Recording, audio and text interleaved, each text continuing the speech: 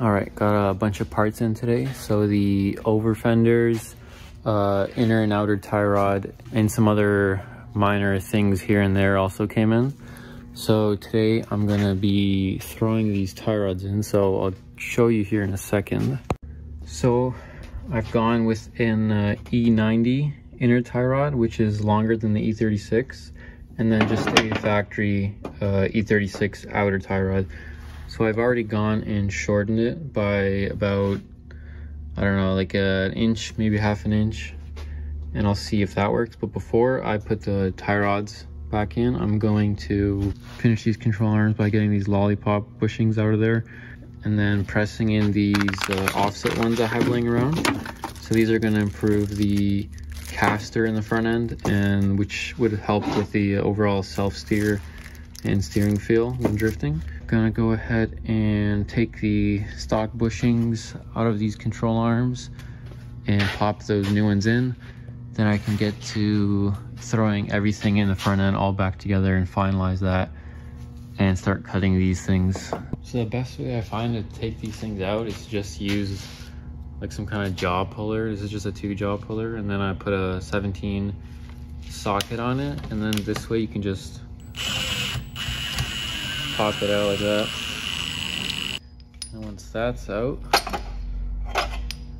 all you have to do is pop this metal ring that's on the edge here. So I usually just uh, cut it, or you, if you put it in a press, you can just press it out by just make a quick cut and then pop that out. And then for the rubber here, again, you can just cut it and then just slide it off.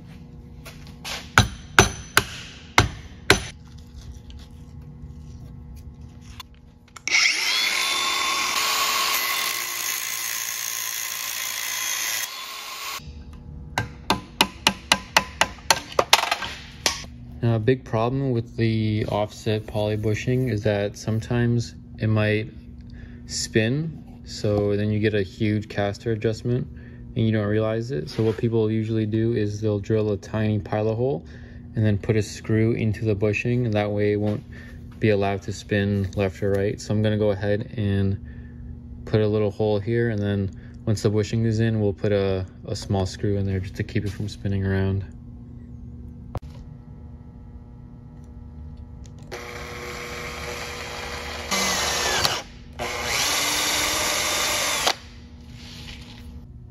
Facing inside toward this uh, tab. Don't make sure it's not flipped uh, the other way around. Again, you want it facing on the inside to have it mounts in the car.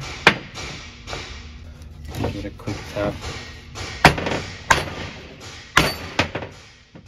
There you go. Now we're gonna find a small screw that fits in this hole and I'll get that in there.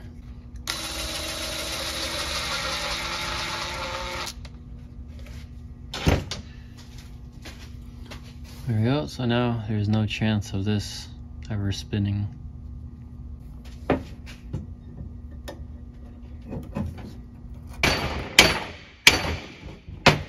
And ready to go back in the car. Got the control arms and everything else in as you can see. And now I'm just finishing up this uh, inner tie rod install. Once again, these are the E90 inner tie rods and I cut them a little bit. So the E90 tie rods are super long, so you do need to cut them a little bit. So gonna start just tightening everything, check over the torque specs, try to do an eyeball alignment quickly, and then I will start chopping the front fenders and we'll see if I can get the front wheels to fit before we move on to the back.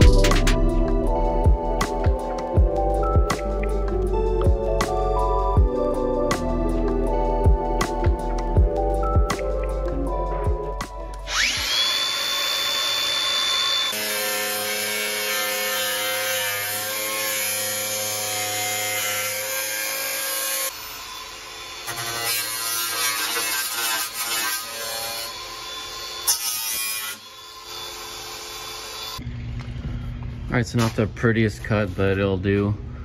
So I'm gonna mount these temporarily using these Cleco pins or clips. And then we'll see if I need to make any more adjustments. I might actually throw the wheel on and see if it hits anywhere else. That way I can trim those sections. But these are a good way to mount body panels without actually having to permanently rivet or screw them in. So I'm gonna start mocking this up, drilling some holes, and then we'll hold it on there using these Clecos.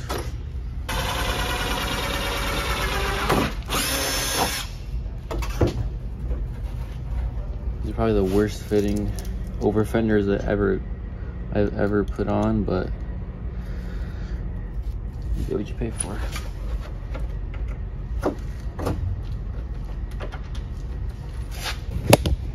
So I have two pins in on each corner, or one on each corner, sorry. Kind of see how it's gonna look. I was hoping they would be a little wider, but they're not, so I might have to uh, put some spacers behind the bottom just to push it out a bit. Probably put another one here and then one on each corner, and down here. Hopefully makes it fit a tiny bit better, but I was kind of trying to match the body line and it's not working out too well. These are the cheapest ones you can get on eBay, I'm pretty sure. So like I said, you get what you pay for. The other overs on my coupe are click tuning and those fit decently. Not too much modification needed. Borrowed the wheel from the SR car. As you can see from the front and rear gap. The caster is in the correct position, thankfully, so we're a little forward there. And we don't hit anything, which is good, especially with such a big tire, but it does rub on the bumper a little bit, but it doesn't hit anywhere else.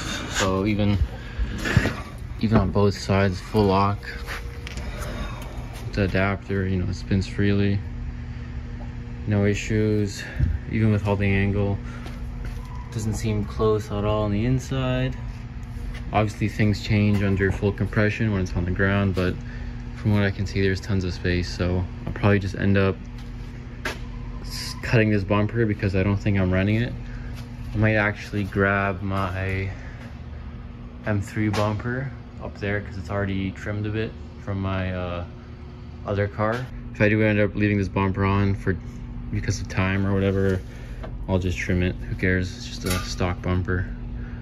So now that this is all good, I don't have to cut anything. I'm gonna start popping these uh, rivets in and pulling the Cleco pins out. I also ended up maxing out the front camber because I feel like it just needed a little more to fit so it's not poking so much. I'll do all the exact same things on the other side. I'm not gonna show it. You know, max camber, pop the over fender on, chop the front fender. So I'm gonna show the rear half now. Need to cut this, mount it to the quarter, mount it to the door because it's a two-piece over. Get all the coilover stuff in there. So I mocked up the rear over fenders and looks like it fits really bad. So I'm gonna have to make some modifications to this panel, probably uh, put some spacers on the top and kind of shift it around and make it fit with this because this is way off and then this is also off. And the gas gas door. I had to do a lot of trimming just to make it something will work. And obviously you know nothing lines up. But like I said before I guess you get what you pay for. So gonna mark out where I need to cut now now that I have this section semi-mounted. And then gonna go ahead and chop this part out bend up the metal and either weld or just seam seal the upper gap. I'm not too concerned.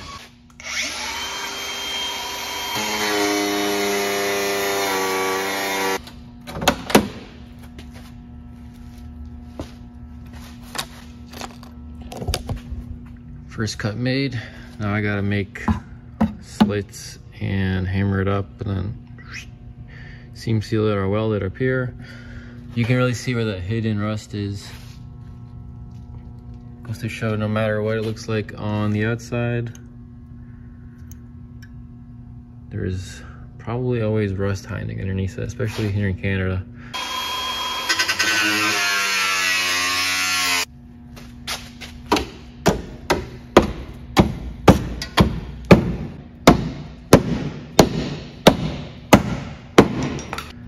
Now I'm just gonna chop all these ends off and then I'll probably just seam seal the all the opening part. Oh yeah, and then finish cutting this little section too. The sides all sealed up. Just put some seam sealer coats on top of the uh, cut section so it's all sealed up. No smoke's gonna get through. Put a quick coat of paint on top so it doesn't rust if there's any metal or whatever. Got the other side cut up. Gonna do the same over there. Get that sealed up and painted. Over fender is on. So the problem that I'm dealing with here is that this is not even close to lining up. So I've already gone and put a nut here, but the Cleco isn't long enough. So what the plan is, is two nuts to space this section out and then one on the bottom here so it kind of matches. You can see from the side profile the body line isn't horrible. It is off a little bit, but it isn't horrible. But the main issue is this, obviously, right? So I'm gonna play around with the spacers and alignment and things like that. I've already shifted it over a couple times. So I'll just put a time lapse on and then when that's finished, we'll go from there.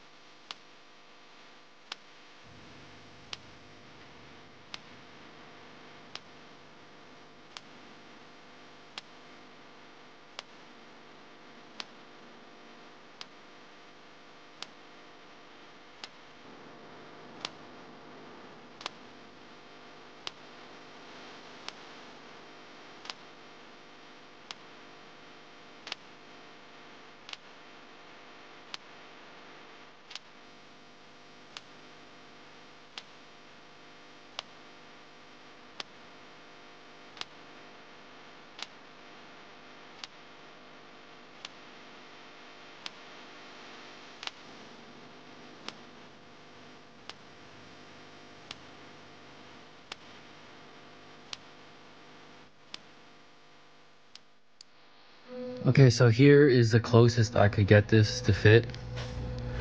Still not perfect, it's off by a little bit. Now the body line's even off, but it's not getting any better than that. Just I put spacers here and there and I messed around with as much as I could. I trimmed the inner skin, I trimmed down here. So yeah, just uh just a garbage um garbage molding for these overs. It, it was cheap, so obviously you can't complain too much, but oh well. I hope the other side is a lot better because this was, even after all this uh, modification, the fitment is still a little off, which the fronts were bad too, but I managed to get them to fit all right, but these are just way off. I'm gonna slam the rest of the rivets in and then do the other side and we'll continue off uh, on the suspension. Just a quick spring and shocks change and we'll pull it outside and see what it looks like with the wheels on.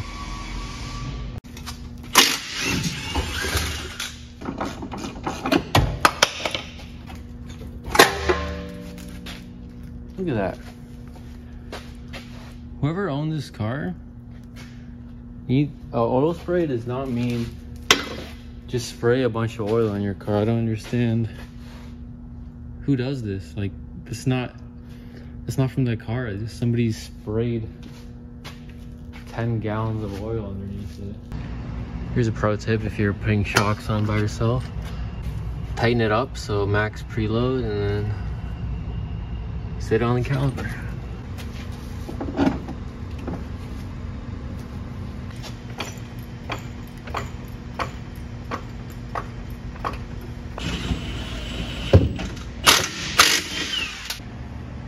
In the air unloaded, it's not too bad, a little high, so if it drops down from this, that would be perfect.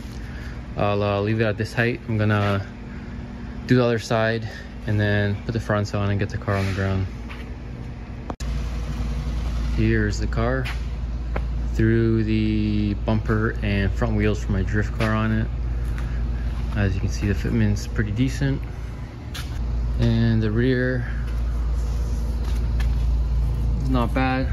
Obviously, once the camber arms come in, I'll dial out some more camber because this is still stocked right now and I like to run as close to zero as possible for tire wear. Yeah, so overall not too bad for a car I just slapped together. So yeah, uh, I guess that's it for this one. The next video, uh, I need to do the hydraulic handbrake and the dual caliper. Once I do those and put the welded diff and camber arm in it, it'll be ready to go. I have a spare bucket seat I'll throw into the driver's side and then uh, I have another wheel I'll put in, put in there. But other than that, it'll just stay stock engine, stock interior. Might do a couple things on the ECU to just give it a bit more power, but that's just basic tuning, OBD2 tuning, so nothing too crazy. Also have the M3 mirrors. Uh, I don't think I'll put any other aero, but those for sure I'll throw on there. So if the camber arms and stuff do show up for this thing before the weekend, I'll probably take it drifting on Saturday. So yeah, if you want to see that, I guess uh, subscribe and wait for the next video.